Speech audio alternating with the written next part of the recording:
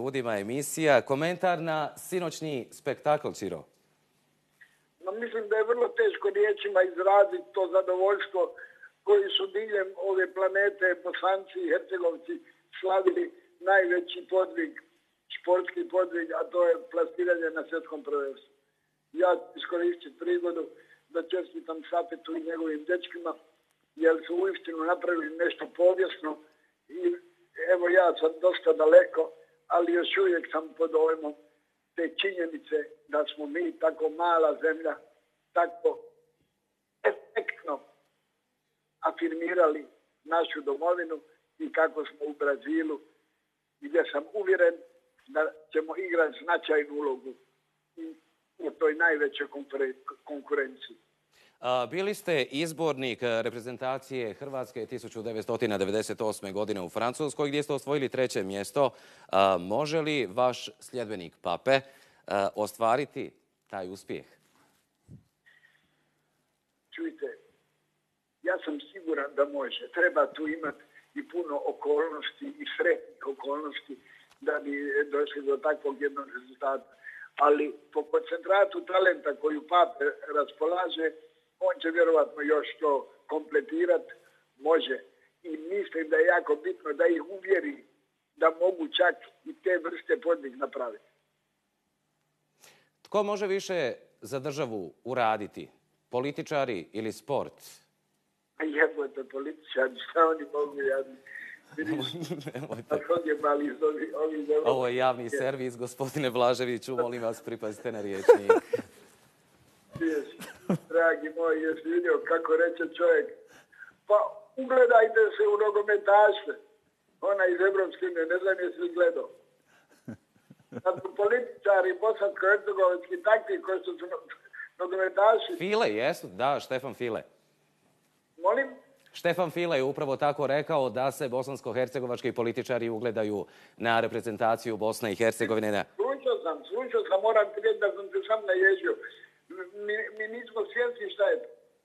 I zato sam sretan da je publika tako odgovorila sa velikim entuzijazmom i zahvalnošću našim nogometašima i našem sad na tako jednom veličanstvenom uspjehu. I e, za kraj, molim vas, gospodine Blaževiću, vaš komentar na turbulencije e, u hrvatskoj reprezentaciji, smjene, ostavke, što se događa?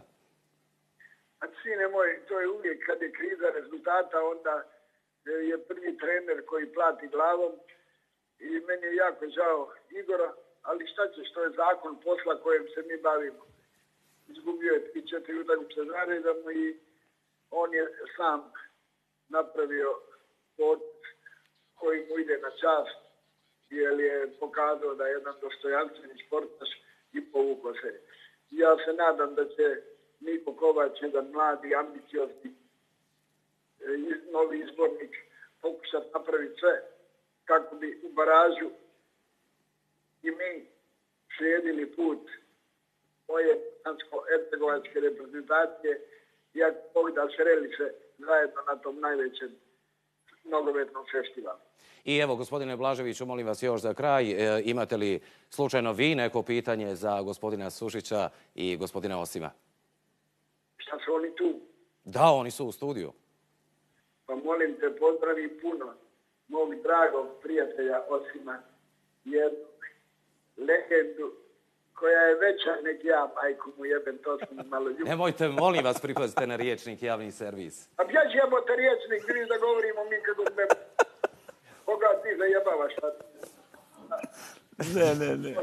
Pozdravljam te riječi, poljubim te u to pametno Leninovo čelo čanjem poljubat. I slušaj savjet od nosima, on može uvijek svima nama ga dati. Ajde, pozdravljam vas da ne bi više ovaj Miko na mene. Također, također, hvala vam lijepa, gospodine Blaževiću. Jeste vi, jeste vi sigurni da je ovo bio Čiro Blažević? Jeste, jel? Da, da. Zato što ima jedan tip koji, koji imitira Čiru u originalu. Ne, ne, ne. ovo je gospodin Blažević. Ja sam slušao nedavno, padao sam od smijeha, pa sam pokušao da ipak da vidim da li je to Širo ili ne. Izgleda da je Čiro, ali nisam... jeste, jeste. 90% sam uzbjeđen da je on, ali... Jeste, jeste.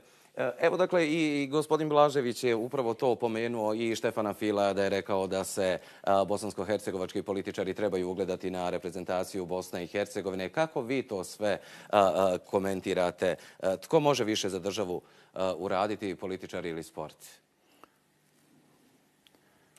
Otkud ja znam? Kako mogu ja da odgovorim